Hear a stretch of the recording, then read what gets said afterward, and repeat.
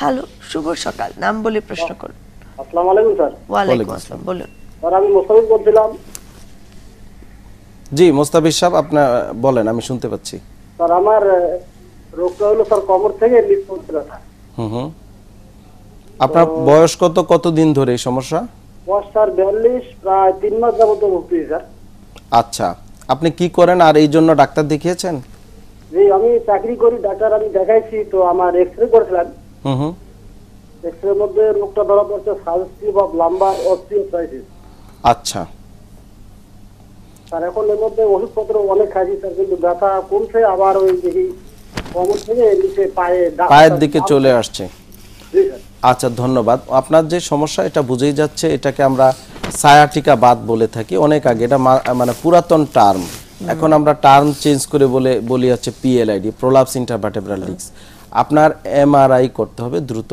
আপনি ডাক্তার সাহেবকে বলেন একটা এমআরআই করে দেখতে। এক্স রে দিয়ে হয়তো কিছু বেসিক জিনিস বোঝা যায়। কিন্তু এমআরআই করলে খুব ক্লিয়ার ছবিগুলো ডিটেইলটা বোঝা যাবে এবং এমআরআই পরবর্তী এই সকল রোগের চিকিৎসা কনজারভেটিভ অথবা অপারেটিভ যদি খুব বেশি ডিস্ক প্রলাপস হয়ে থাকে কম্প্রেশন বেশি থাকে এবং স্পাইনাল ক্যানেল স্টোনোস্ট হয় পা অবশ অবশ ভাপা প্যারালাইসিসের মতো মনে হয় তখন সার্জারি একটা অপশন চলে আসে। কিন্তু সার্জারির বিষয়টা নিয়ে কিন্তু জনমনে এক ধরনের ভীতি আছে যে সেই সার্জারিটা আসলে প্রপার হয় না। এরকম একটা টেনশন কাজ করে ফলে থেরাপি দিয়েই তারা ওভারকাম করতে চায়। হ্যাঁ, অবশ্যই থেরাপি বেটার ট্রিটমেন্ট কারণ হচ্ছে কনজারভেটিভ চিকিৎসা অবশ্যই রুগীদের জন্য ভালো। যদি কারণ ডিস্কটাও তো এক প্রকারের মেকানিক্যাল সমস্যা। এটা তো কোনো আপনার বড় কোনো ইয়া না যে প্যাথোলজি না। প্যাথোলজি বলতে এটা তো ক্যান্সার না বা টিবি না যেটা কেটেই ফেলে দিতে হবে বা এটা মেকানিক্যালি সমস্যা। মেকানিক্যাল যদি চিকিৎসা করা যায় সঠিকভাবে যেমন আমরা রিহ্যাব থেরাপি করা হয় এই সকল ডিস্ক প্রলাপস রোগীর ক্ষেত্রে আপনার ডিকম্প্রেশন অত্যন্ত কার্যকরী চিকিৎসা। পাশাপাশি বিভিন্ন স্পাইনাল এক্সারসাইজ বাংলাদেশে কি অবস্থাতে আছে সেই সার্জারি কতখানি আমরা এগিয়েছি? এই সকল পিএলআইডি রুগীর ক্ষেত্রে সার্জারি বাংলাদেশে অনেক আগিয়েছে। আমি বলব আমরা তো একসাথে আসলে রিহ্যাবিলিটেশন টিমের মেম্বার আমরা যারা ফিজিওথেরাপি বিশেষজ্ঞ আমরা সার্জনদের সাথে কাজ করি, অনেক ইম্প্রুভ আগের আগের তুলনায় এখন বেটার ট্রিটমেন্ট হচ্ছে। আমার মনে, আমি মনে করি আমাদের দেশের এই সকল রোগের চিকিৎসার ক্ষেত্রে সাউথ এশিয়া এবং এশিয়ার ভিতরে আমরা অনেক আগিয়েছি। কোনোভাবেই কারও পার্শ্ববর্তী দেশের তুলনায় আমরা কম না। অনেকভাবেই তাদের প্যারালাল ট্রিটমেন্ট হচ্ছে আমাদের দেশে। আমাদের কিছু অবকাঠামোগত ঘাটতি আছে, সেটা আসলে আস্তে আস্তে আরও ঠিক হয়ে আসবে। কিন্তু যে basic concept basic treatment diagnosis confirm diagnosis রুগীকে সঠিক মেসেজ দেওয়া, যে কীভাবে আসলে কোন চিকিৎসায় যেতে হবে, কোথায় যেতে হবে, কীভাবে করতে হবে, এগুলাতে আমাদের অনেক অনেক ইমপ্রুভ হয়েছে। আর আপনার স্পাইনাল বা সার্জারির ক্ষেত্রে কিন্তু অনেক চেঞ্জ আসছে। কিন্তু যেটি করুক না কেন, আপনার কনজারভেটিভ চিকিৎসা আসুক সার্জারি আসুক, যাই করুক না কেন, আমাদের প্রথমত দরকার রুগীদের সচেতনতা। আপনি একটা সার্জারি করে দিলেন, রুগী ভালো হয়ে গেল, গিয়ে তো রুগীও একই কাজ করছে। সে সেই সামনে ঝুঁকে ঝুঁকে কাজ করছে, সে সেই নিচে বসে বসে কাজ করছে, সে কিন্তু আর সচেতন হচ্ছে না। বাংলাদেশের থেকে অল্টারনেটিভ আসলে পথ নেই, কাজ করবার, সেটিও একটি সমস্যা। সেই ক্ষেত্রে কীভাবে আসলে তারা জায়গাগুলোকে ওভারকাম করতে পারে। আসলে আমরা রুগীদের স্পেশালি যে কোমর ব্যথা বলেন, হাঁটু ব্যথা বা ঘাড় ব্যথা, রুগীদেরকে কিন্তু ট্রিটমেন্টের পাশাপাশি এডুকেশন দিচ্ছি প্রত্যেকটা রুগীকেই।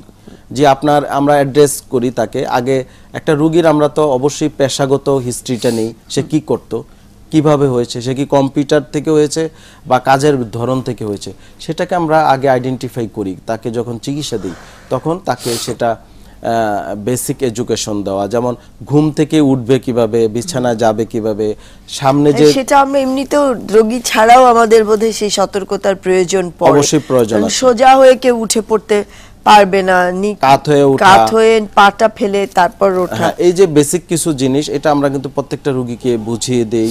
সে যে কম্পিউটিং করছে সে তো হয়তো ল্যাপটপ ইউজ করছে এতদিন সামনে ঝুঁকে ঝুঁকে কাজ করছে তার টেবিলটা অনেক নিচু ছিল বা সামনে কুজো হয়ে কাজ করেছে।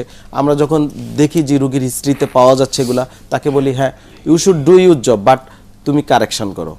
তুমি সেক্ষেত্রে ল্যাপটপ বাদ দিয়ে ডেস্কটপ ইউজ করো সোজা হয়ে বসে কাজ করো চেয়ারটা কারেকশন করো বিছানাটা কারেকশন করো করা তারপরে হচ্ছে আপনার যেমন মহিলারা নিচে বসে অবশ্যই কাজ তারা করবে কিন্তু একটানা বসে থাকবে না মানে আবার বসার কোটাকুটি গুলো যদি এখন ওপরের দিকে একটু দাঁড়িয়ে হ্যাঁ দাঁড়িয়ে করে শহরে কিন্তু এটা ইজি করাটা। এখন জাস্ট একটু অভ্যাসের ব্যাপার।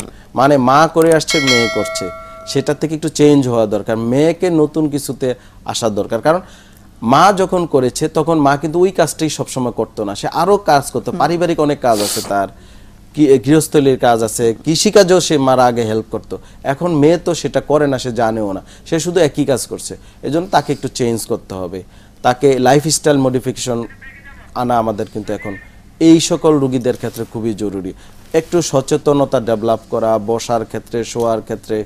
তাহলে কিন্তু অনেকাংশে আপনার যেমন ব্যথা রুগীও কমে যাবে বা ব্যথা বেদনায় কেউ আক্রান্ত হলেও সেও কিন্তু নিজের থেকেই বুঝতে পারবে যে কীভাবে চলে। আমরা তো আসলে রুগীর ডাটা থেকেই আমরা মেসেজগুলো দিচ্ছি।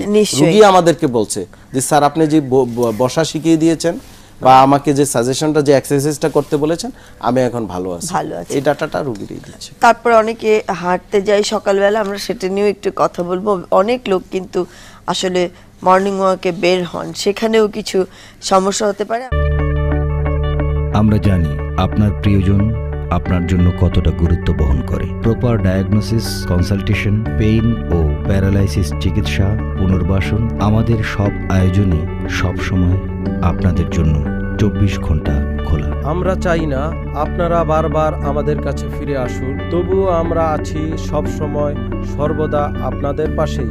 ডিপিআরসি হসপিটাল লিমিটেড আস্থা, বিশ্বাস ও নির্ভরতায় অবিচল।